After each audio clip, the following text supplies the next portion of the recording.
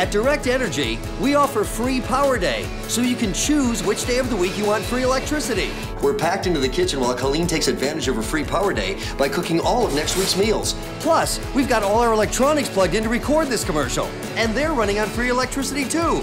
Right now, the entire sound crew is squeezed into Colleen's bathroom while she blow dries the family's golden retriever Romo. There we go. And rolling, please. Sound rolls. Colleen takes advantage of her free power day by doing last week's laundry, 11 loads.